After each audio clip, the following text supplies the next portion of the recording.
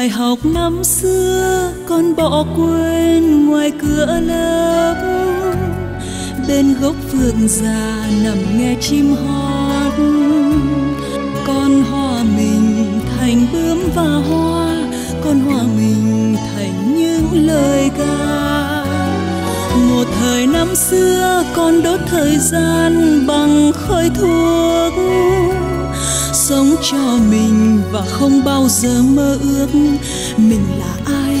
Tôi sẽ là ai? Mình là ai?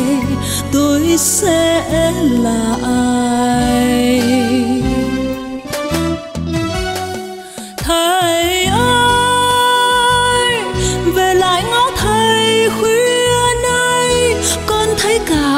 Vầng trăng ấm sáng, thầy vẫn miệt mài bên bàn lắng lặng, ngồi soạn bài trong tiếng hò khan.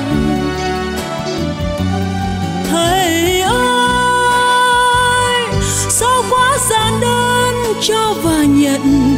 Sao con học mỗi ngày không thuộc? Để bây giờ khi con hiểu được, biết làm sao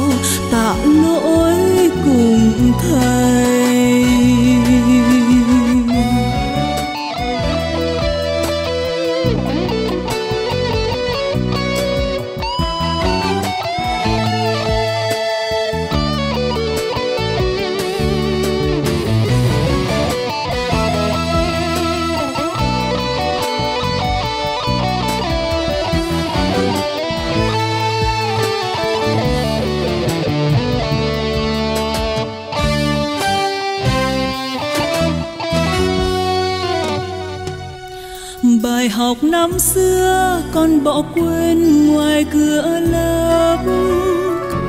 Bên gốc phượng già nằm nghe chim hót. Con hòa mình thành bướm và hoa, con hòa mình thành những lời ca.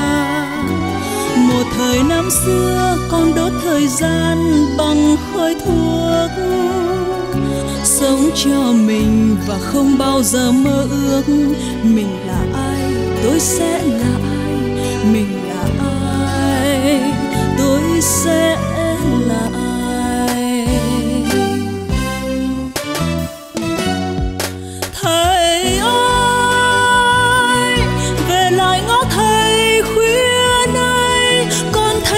thấy một vầng trăng ấm sáng thầy vẫn miệt mài bên bàn lắng lặng, ngồi soạn bài trong tiếng ho khan. Thầy ơi, sao quá gian đơn cho và nhận, sao con học mỗi ngày không thuộc, để bây giờ khi con hiểu được biết làm sao tạ lỗi.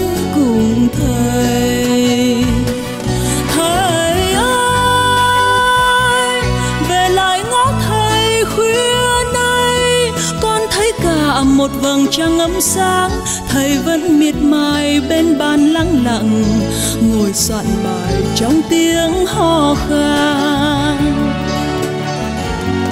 Thầy ơi, sao quá gian đơn cho và nhận? Sao con học mỗi ngày không thuộc? Để bây giờ khi con hiểu được, biết làm sao tạ lỗi cùng thầy.